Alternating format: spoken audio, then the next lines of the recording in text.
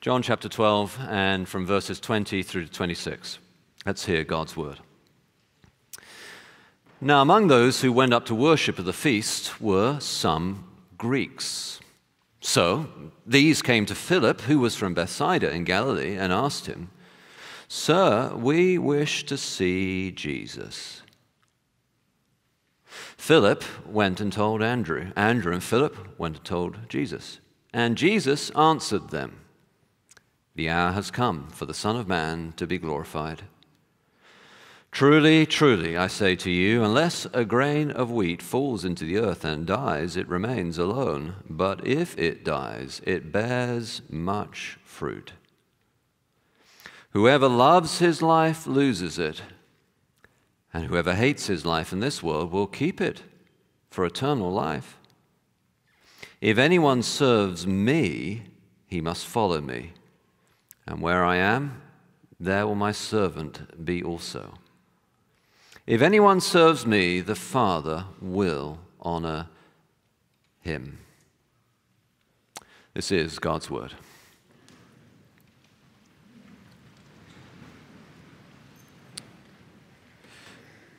Fairly common phrase these days is to say that something is counterintuitive. Perhaps you've heard of that. That's a counterintuitive way uh, Uh, of expressing yourself. Well, that's a counterintuitive idea.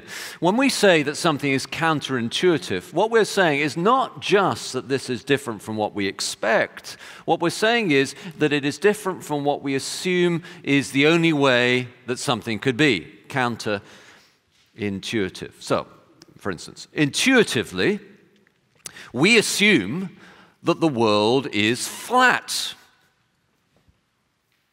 It looks flat. It feels flat. Therefore, intuitively, we assume it must be flat. But we know and have known for many, many years that the world is in fact round. It spins too, by the way, at about a thousand miles an hour.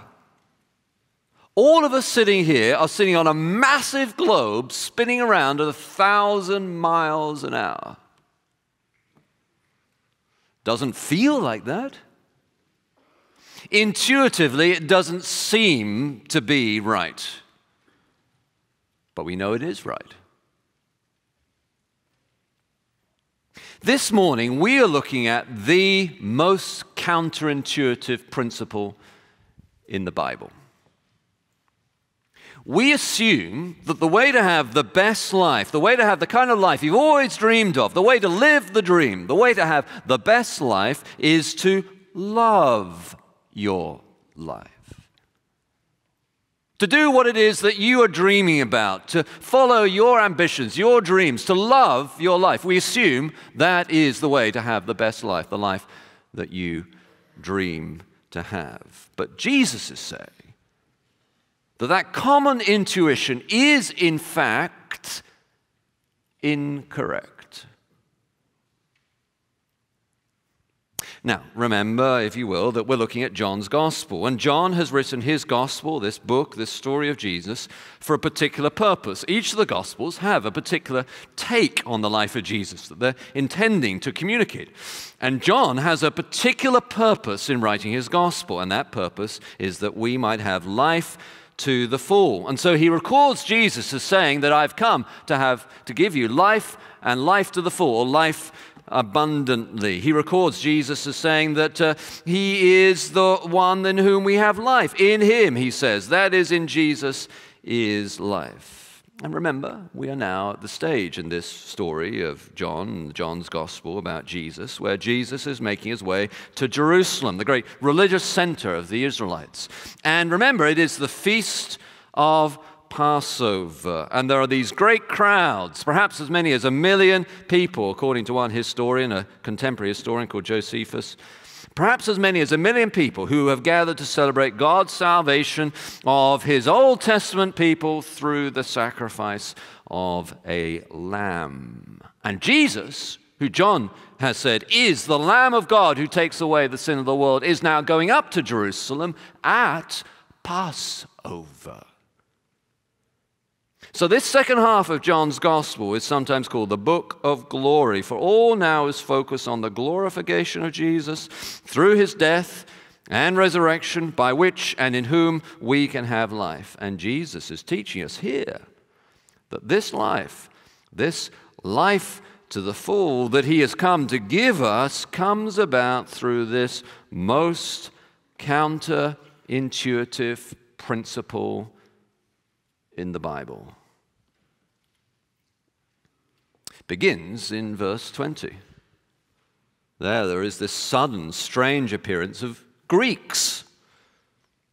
John says, Now among those who went up to worship at the feast, that is Passover, were some Greeks. Now, you should know that when John tells us that there were Greeks there, he does not mean necessarily that these were people from Greece. In those times, you see, the world was divided in people's minds into the Jewish people and all the rest. And the rest of the world was the Greek world or the Hellenistic world. These are people, God-fearers, who have come to worship at the feast. They're fearing God, who are not ethnically Jewish, but from the world outside the Jewish people, the Greeks, the non Jewish part of the Roman Empire. So it was not surprising, actually, that there were Greeks in Jerusalem at this time. People from all over the world came to Jerusalem for the great feast of Passover. What is surprising is what they want. Look at verse 21. So these came to Philip, who was from Bethsaida in Galilee, and asked him, Sir, we wish to see Jesus. Now, why did they go to Philip with this uh, request? Perhaps because Philip's name was a Greek, non Jewish name. Perhaps also because they realized that being from Galilee, he was close to the non Jewish part of the world and therefore would understand not only their language, but have empathy with their desire. Philip was from near the border. And these people who were from outside of Israel approached him first to be, as it were, their representative into the inner courts of uh, Jerusalem and to be able to see Jesus. Look what they want then. Sir, we wish to see Jesus. What a contrast to the Pharisees who wished to kill Jesus. Here, the Greeks, the foreigners, those ethnically outside of God's people, the outcasts, they are wanting to see Jesus. They've got it right. They've, they've heard about Jesus. There has been this massive crowd at the triumphal entry. Jesus is famous. And in unwitting fulfillment to the Pharisees' jealous comment in verse 19 that the whole world has gone after Jesus, here come the Greeks. The wider world is now wanting to see Jesus. I remember when I was interviewing someone who came from a Sikh background. He'd been part of the Sikh religion his family had for generations. He was a, from a Sikh background. He'd become a Christian. He wanted to be baptized. And at that time in my ministry, I was having conversation with many college students about many apologetic and sort of complicated philosophical things and all the rest. And I was fascinated to discover that this person from a Sikh background who had come to follow Jesus, his request was much more in line with these Greeks. Sir, we wish to see Jesus. Let that be your watchword, your slogan, your motto, your guiding principle. When you go to church, when you go to small group, when you go to adult community, when you're thinking about the things of God, we wish to see Jesus. You know, sometimes it takes a person outside of your community, perhaps less used to church, someone here this morning who is discovering these things for the first time, who has this heart desire to show us, the rest of us, to bring us back to the real center of our own faith and bring our faith back into focus. A child, a teenager. We can get so wrapped up in all the other things of Christendom or culture, all this other stuff. Here we can then miss the main thing. So, would you pray this week that you would simply want to see Jesus. So we come to verse 22. Philip went and told Andrew this amazing thing, and Andrew and Philip together then went and told Jesus.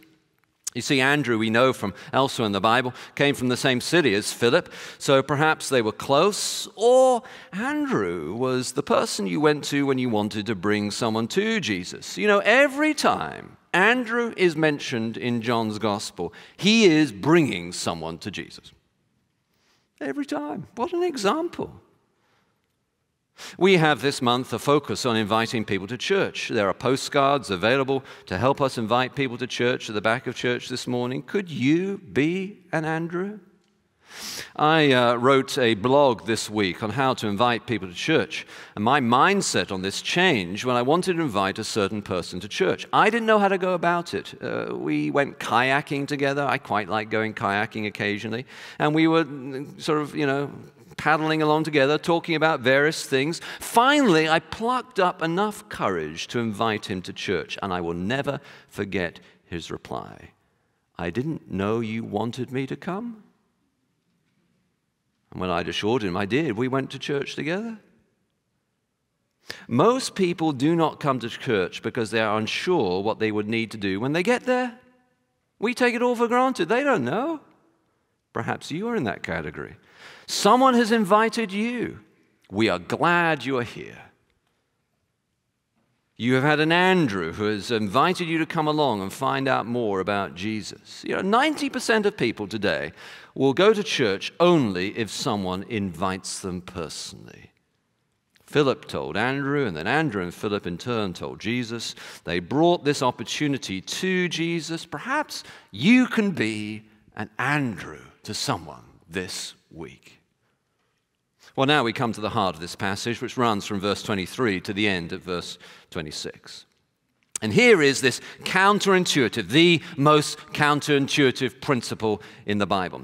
Jesus, though, is not saying actually several different things here. He's saying one thing in several different ways to help us get the point. Let me read it out again and explain as we go along. So look at verse 23. And Jesus answered them. That confuses some people. But when it says Jesus answered them, we think that in English it must mean he's replying to a specific question. But the meaning here is that he is responding to this situation. So the Greeks, that is the non Jewish God-fearers, are now coming to Jesus, wanting to see Jesus.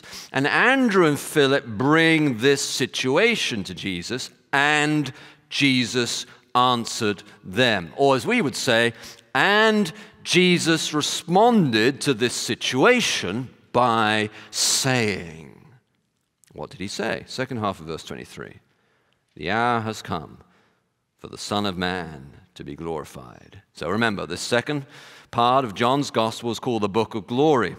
The hour has come for the Son of Man to be glorified. This is the time or the hour when the Son of Man, that is Jesus, is going to be glorified. His hour or his time has now come. So far, throughout John's Gospel, we've been told it is not yet his hour, but now the hour has come. This is the moment. There is building tension and pressure. We are approaching the climax.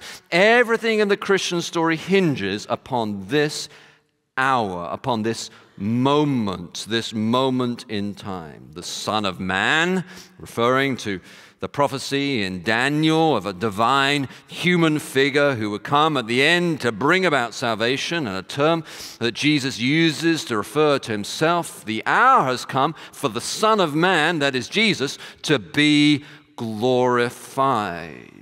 He is going to be glorified. Now we begin to enter into this counterintuitive principle. He's going to be glorified through his death and resurrection. The whole world is coming to him.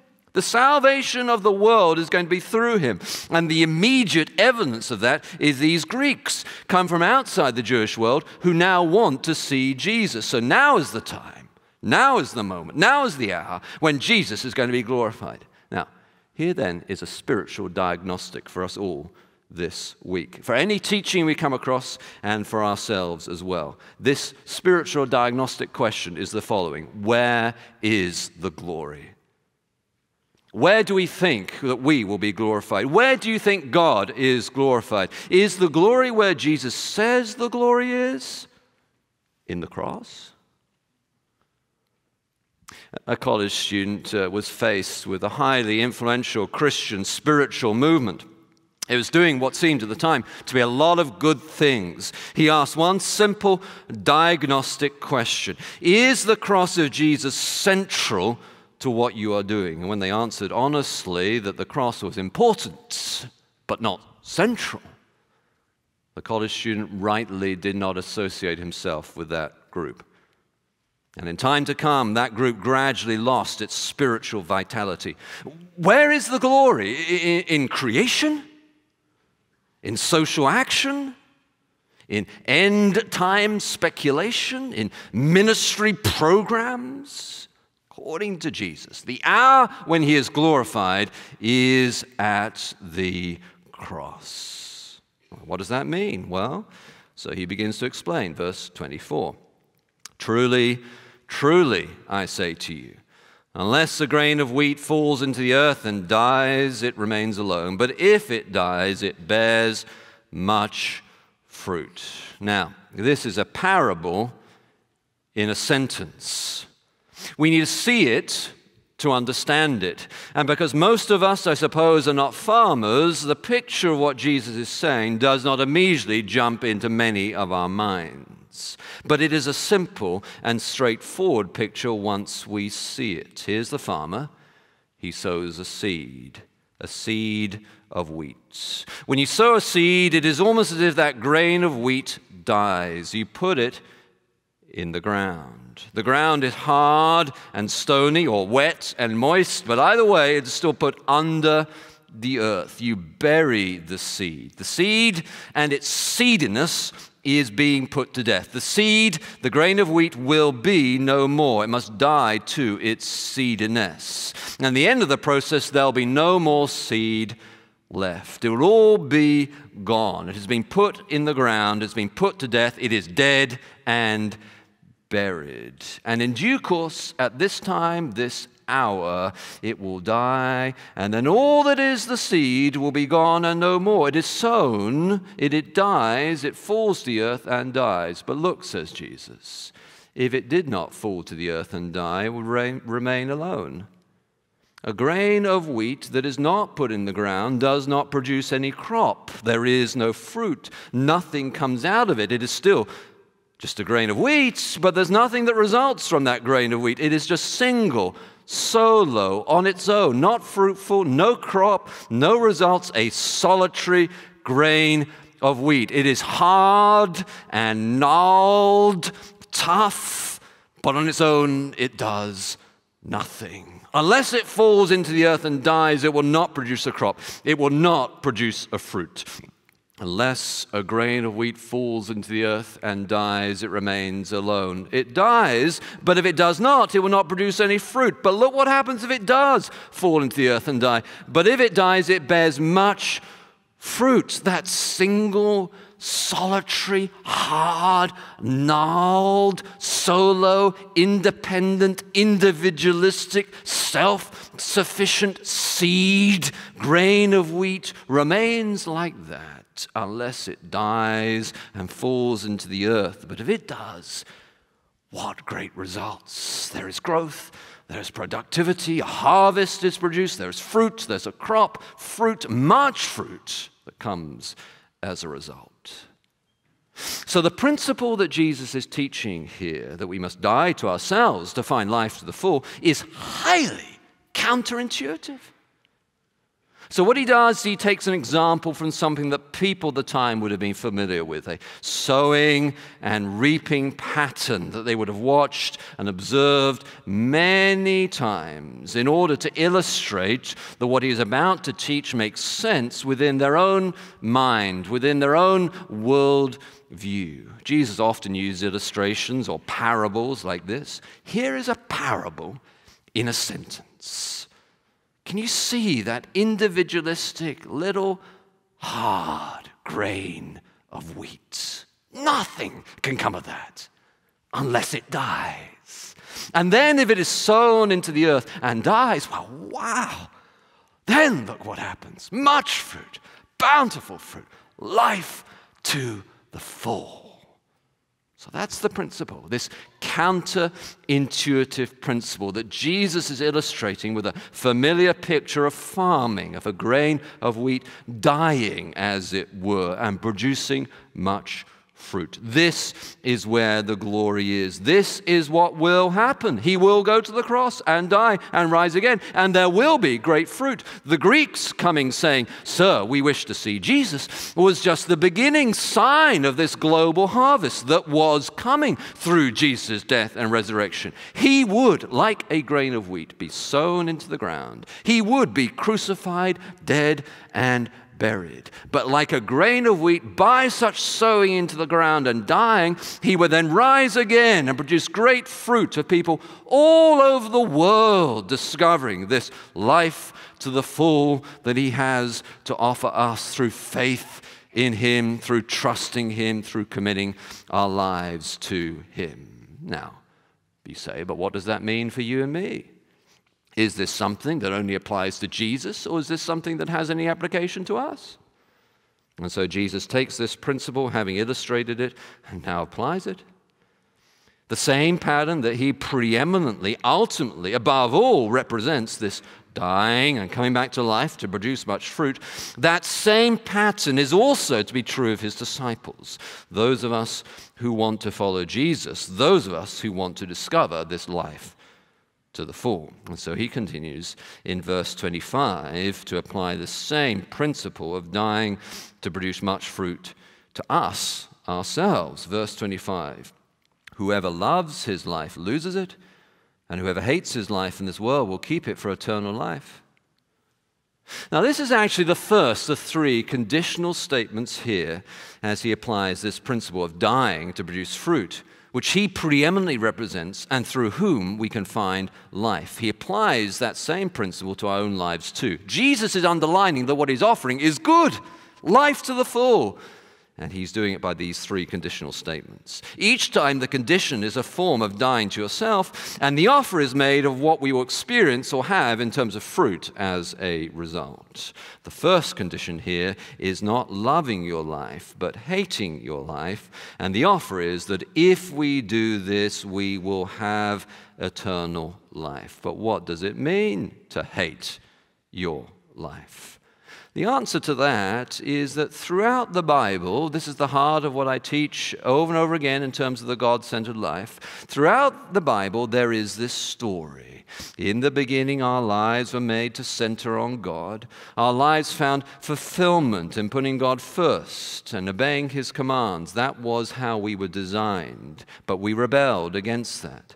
As a result, we live now in a world that is in rebellion against God. Our souls, our lives, ourselves are now orientated around the selfish self.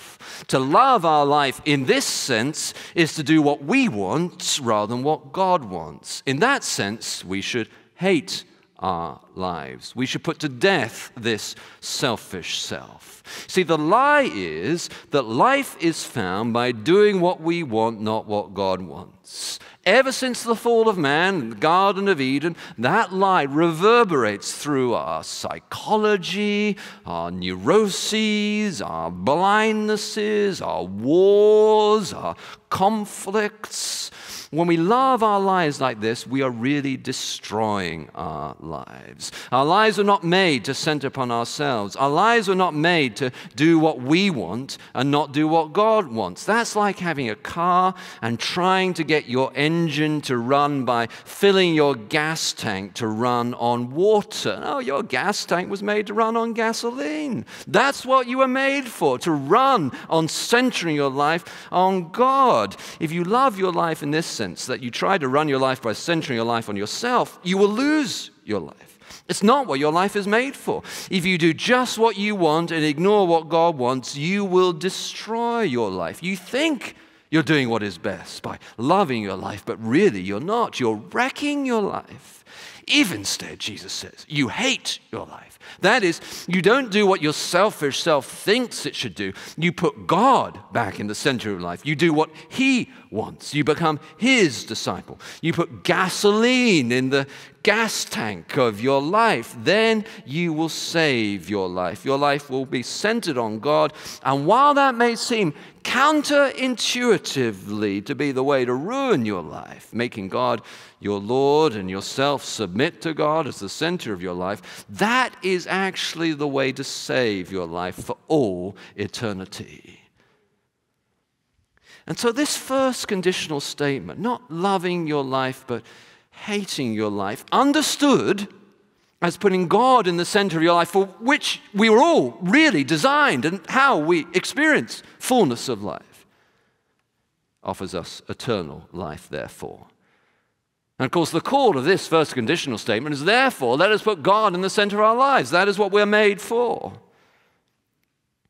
The next two conditional statements work this further out with this word serving. Each offers slightly different aspects of this life to the full that Jesus wants us to have. So, how do you have life to the full? Counterintuitively, it isn't just about doing what you want, it's about putting God in the center of your life. And so, then, the first part of verse 26 if anyone serves me, he must follow me, and where I am, there will my servant be also. If we serve Jesus, if we put God back in the center of our lives, that means following Jesus, and that means, Jesus says, we will be with Jesus. This is a precious promise and a great fulfillment of what it means to have life to the full. I wish I had the rhetorical flourish to express to you all all that it means to be with Jesus. Where I am, there will my servant be also. What could be better? What could be better than being with Jesus now and forever? At the name of Jesus, demons flee and fall. You, you could climb every mountain, you could swim every sea. You could ski the Himalayas, climb the Alps, rock climb Yosemite National Park, scuba dive the Great Barrier Reef off Australia. You could have all the tea in China and the best coffee in Brazil and Kenya. You could run a marathon in a world breaking time and bring home Olympic gold from the gymnastics all around events. You could appear on the front cover of Vogue magazine and have your own star on Hollywood Boulevard. You could own a beachfront property in Malibu and San Diego, a retreat in Palm Springs, two, a ranch in Colorado, a mansion on the north shore of Chicago, and an apartment block on the upper east side of Manhattan overlooking Central Park. All this could be yours, and I tell you that that, all that, is nothing compared to simply being with Jesus. You say, well, why is that? How could that be the case? Or Jesus concludes this third conditional statement in the second half of verse 26. If anyone serves me, get this, the Father will honor him. Well, in my view, here we come to the pinnacle of this counterintuitive principle.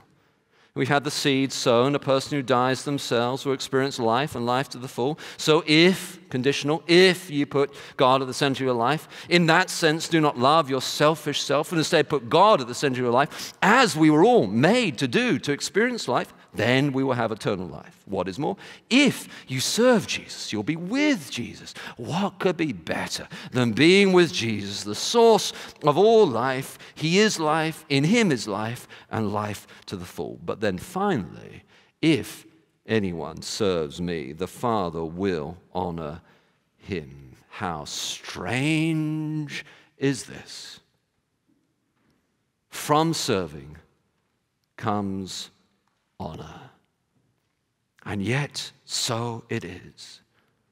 As God says in 1 Samuel, those who honor me, I will honor. The real glory is in the cross. Honor comes from serving Jesus. Not always now, but always honor. These days, I get sent a lot of magazines and books asking for me to write endorsements and that kind of thing of what people are writing.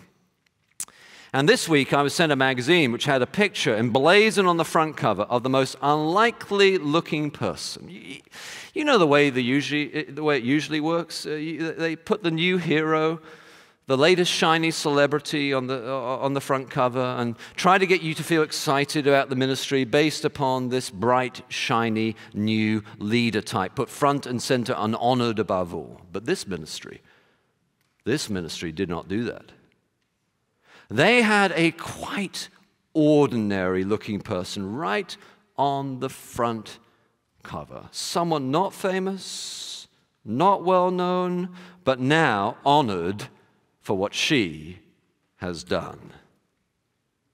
Now, we don't think of people who serve as likely to be the people who are honored, but so often that is the case. The one who helped you. That person, you are more likely to honor. I could tell you stories of apparently well known people I have known, but the people I really want to honor are the people who have served me, helped me, come alongside me. There is this principle whereby counterintuitively, it is the one who serves who is the greatest, and the one who serves Jesus who is honored by God the Father Himself.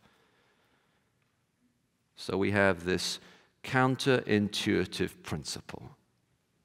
The way to life to the full is to put yourself, your selfish self, that kind of so called life to the death. Instead, you center your life upon Jesus. You serve him, you follow him, and as a result, you find life, eternal life. The very presence of Jesus himself in your life, honor from the Father God, that's glory. In short, the way to have life to the full is to follow the example of Jesus. What does that mean? It means sowing the seed of your life. That's the illustration Jesus uses. Don't hold on to yourself, give yourself away. Don't try to amass things for yourself, use them for His kingdom. Don't seek to be someone, seek to serve someone. Really, it is what it means to become a Christian at all. It means to center your life upon Jesus, to put Him in the driving seat. And then it is what it means to be an ongoing disciple of Jesus. This week, would you ask yourself these diagnostic questions? Where is the glory? Where do I think is the glory? Is it in the cross? And if the glory and honor and the life is in the cross, then, well, what wonderful fruit there is from that. Honor from God the Father, life and life to the full, the very presence of Jesus in my life now and forever, all because we took that gnarled, hard, solitary, selfish, individualistic seed, a grain of wheat, and we sowed it. We let it fall into the earth and it died. Died to self. That we might then rise with Jesus in the power of his Spirit to the life that he came to give you the life to the full. Let us pray together.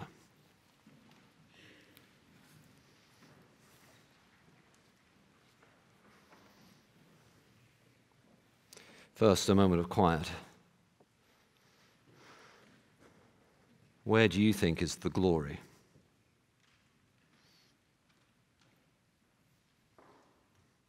Would you ask yourself that question this morning?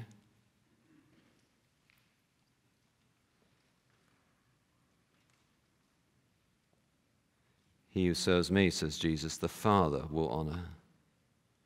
Now is the hour for the Son of Man to be glorified, the hour when the seed is sown.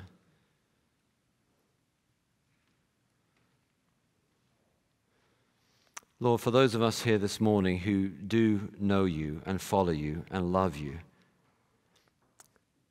I pray, Lord, that you would help us to resist this so common idea that the way to find abundant life, fullness of life, is to do what we want,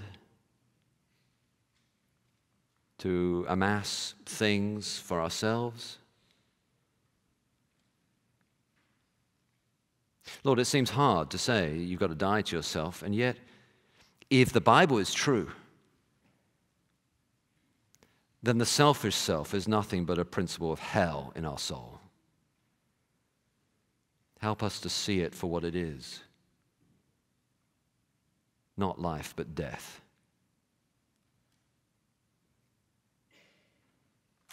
And so, Lord, to submit to you, to put you at the heart of our lives, the center of our lives, and therefore, Lord, to have honor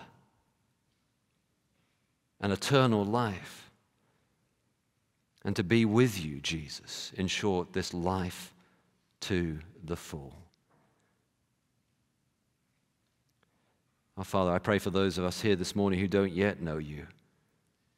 I pray, Lord, that you would open our eyes to this first principle of what it means to be a Christian. That is, that Jesus, you came to die for us, that we might have life forever.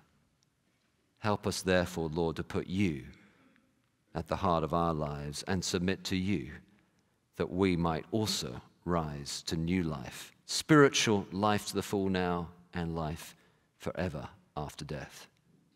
Lord, these are not trivial things, these are important things, but they're not sad things, Lord. They're joyful things, they're fullness of life.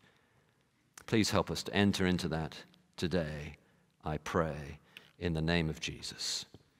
Amen.